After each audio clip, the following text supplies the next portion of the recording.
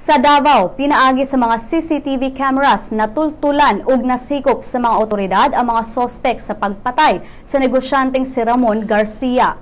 Human positibong giila sa witness ang mga sospek nga si Daisy Joy Cachapero ug Ariel John Liawan gipangita og natultulan kini pinaagi sa mga CCTV cameras sa syudad niadtong Sabado sa kaadlawon. Kahinumdumang nakita ng lawas ni Garcia niadtong Biyernes sa usa ka Pangpang nga may gilawmon nga 20 metros sa sitio Baluyan, Barangay Bulton sa lungsod sa Malalag. Uwahing nakita ng biktima sa usa ka hotel kauban si Katchapero. Diin gi-offeran sa biktima si Katchapero nga ihatod padung uli. Apan sa diha nakita ni Liawan ang duha misakay kini sa sakyanan ug gihulga pagpatay ang biktima gamit ang kutsilyo. Ang mga sospek kinsa nakuhaan og mga gamit gikan sa biktima ato sa pagsikop pasakaan karong adlaw og kasong robbery with homicide.